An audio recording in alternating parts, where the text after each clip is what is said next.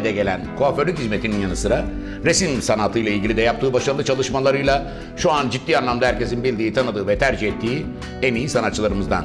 Burada verilen hizmetleri, sektör olan katkıları, tercih edilme sebepleri, ürün ve hizmet kalitesiyle ilgili bakalım bizlerle ne gibi değerli bilgileri paylaşacaklar.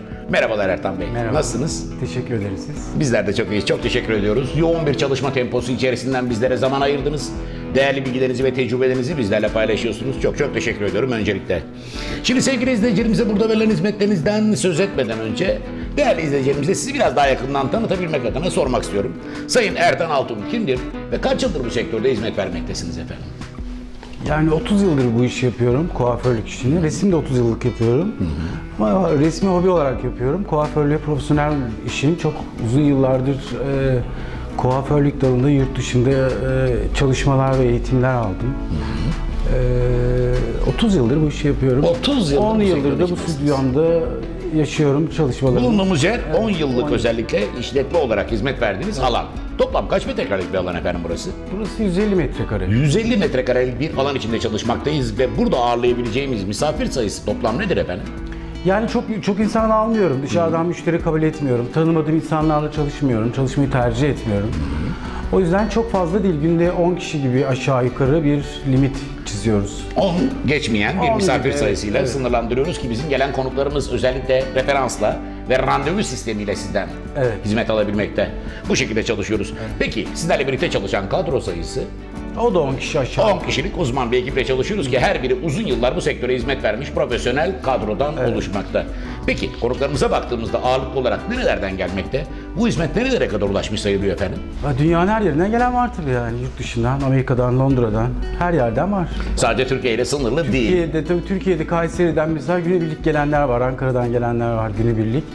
Var dünyanın her yerinden gelenler oluyor. Türkiye'nin birçok ilinden gelen misafirlerimizin yanı sıra yine dünyanın birçok ülkesinden de sizleri ziyaret eden, sizden hizmet alan değerli konuklarınız var.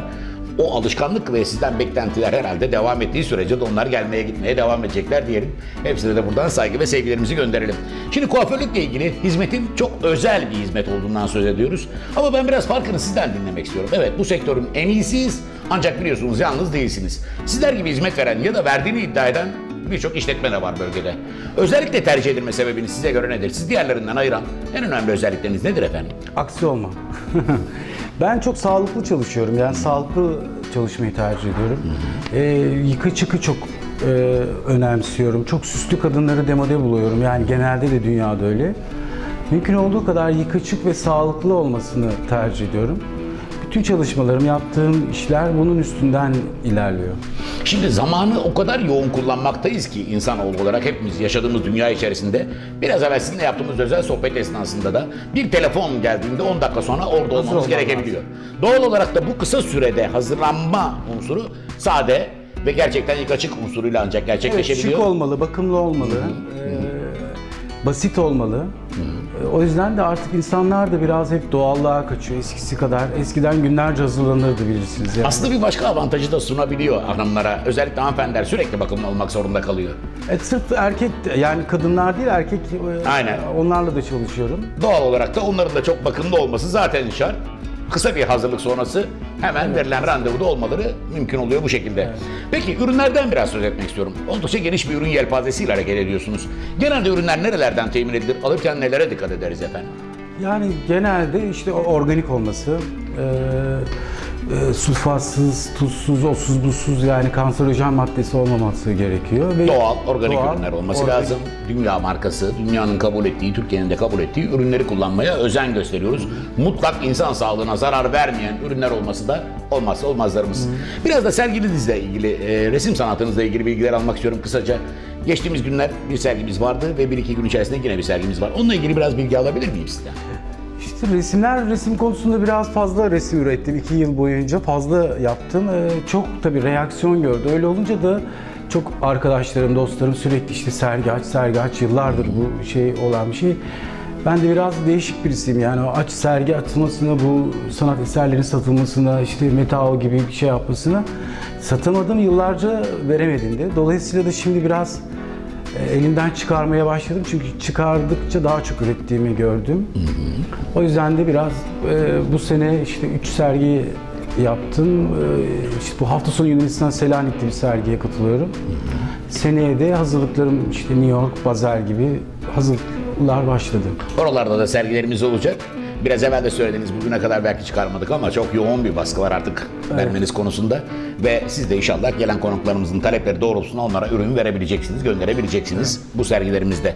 Onunla ilgili de biraz ürünlerinizi kullandığınız ürünlerle ilgili bilgi alabilir miyim? Ağırlıklı olarak hangi ürünlerle çalışmaktasınız? Ya orada çok her şeyi kullanıyorum. Mesela metal, kurşun, plastik, e, mesela bu organik denemeler diye bir e, Serginiz var. sergimizde. Orada mesela organik denemeler daha çok daha böyle metaller, kurşunlar, değişik şeyler kullanıyorum. İnşaat malzemeleri kullanıyorum.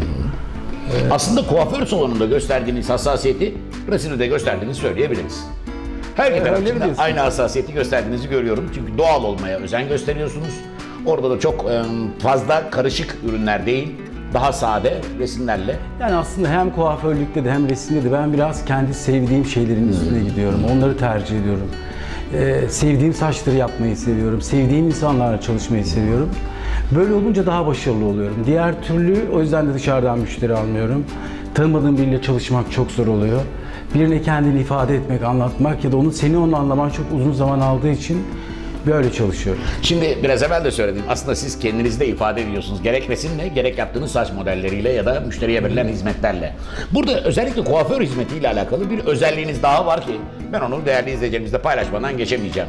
Örneğin saç kesimi ya da saçla ilgili yapılacak bir işlem öncesi gelen vatandaşın mutlaka kan grubunu da öğreniyorsunuz. Evet evet. kan- Onların ikisinin arasındaki bağlar kurulabiliyor. Sizin hassasiyetiniz mutlaka kişiyi iyi tanımak, iyi anlamak, onunla bir bağ kurabilmek, ilişki kurabilmek ki ona o enerjiyi yansıtırken aynı zamanda da saça o e, kurulan bağın yansıması olsun diye uğraşıyoruz. Bu da sizin sanatçı kısmınızı, sanatçı e, e, ayrıcalığınızın aslında işletmede e, verilen hizmete de dönüştüğünü söyleyebiliriz. Peki değerli izleyicilerimizin içerisinde gerek sergilerinizi gerek stüdyonuzu ziyaret etmek, sizlerle tanışmak isteyen çok sayıda değerli konuklarımız da olacaktır. Sizlere böyle bir talep doğrultusunda nerelerden ve nasıl ulaşacak sevgili izleyicilerimiz efendim? Her yerden ulaşabilir artık. Yani internette yazdıkları zaman her yerden ulaşmak çok kolay artık. Yani. İsminizi yazmaları Yazdıkları halinde zaman her- sosyal medya her sayfalarından yerden değerli izleyicilerimiz sizleri çıkabilir. ziyaret edebilecekler. Web sayfaları oradan buradan her yerden bulabilir. Peki biraz nereye yönelik plan projelere de değinmek istiyorum kısaca. Önümüzdeki yıllarla ilgili projeleriniz neler, neler yapmayı düşünüyorsunuz bu sektörle alakalı efendim? Yani çok öyle plan yapan birisi değilim ben açıkçası. Ee, biraz yaşadıkça e, şeye göre kararı yaşıyorum ben. Çok anı Şartların getirdiğine bakalım diyorsunuz. plan yaşayan biri değilim. Planları da sevmiyorum. Ee, o yüzden çok bir planım yok.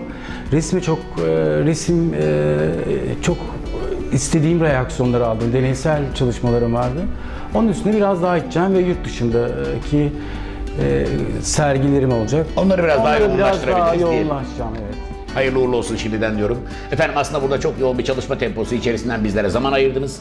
Değerli bilgilerinizi ve tecrübelerinizi bizlerle paylaştığınız için ben size bir kez daha teşekkür etmek istiyorum. Aslında burada verilen hizmetleri bu kadar kısa sürede kabul edersiniz ki değerli izleyicilerimize aktarabilme imkanımız maalesef yok. Tekrar tekrar teşekkür ediyorum. Son olarak buradan vermek istediğiniz herhangi bir mesaj var mı bizi izleyen değerli izleyicilerimize efendim? Ben çok teşekkür ediyorum. Ee, başka da bir şey söylemek istemiyorum. Kolaylıklar diliyorum. İyi çalışmalarınız olsun diyoruz efendim.